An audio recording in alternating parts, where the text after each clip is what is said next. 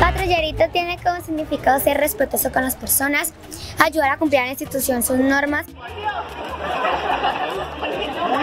Que nosotros queremos enseñar a nuestros hijos y a los estudiantes de que ellos puedan fomentar la seguridad con los padres, nos hagan entender de los errores que tenemos nosotros como padres en el momento de generar lo que es en el momento de andar en un vehículo, sea moto, sea carro, de lo que es el casco, lo que es el cinturón de seguridad. Pues el trabajo está conformado por mis compañeros y los de agentes de tránsito.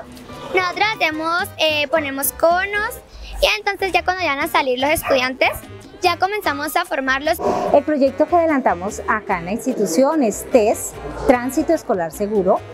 Es un tránsito dentro de la institución que cumple las mismas funciones de la movilidad afuera, es decir, tenemos los, los, los, patrulleritos dentro de la institución y el aporte que nos ha dado la Secretaría de Tránsito es que ellos nos licencian a los niños, nos eh, cuentan sobre toda la normatividad vigente. Es bonito como tener un concepto de ayudar al colegio, se respetar las normas. Que no solo queremos que quede aquí en Candelaria, sino que la seguridad vial en el sentido de los maestros de la movilidad se genere a nivel nacional.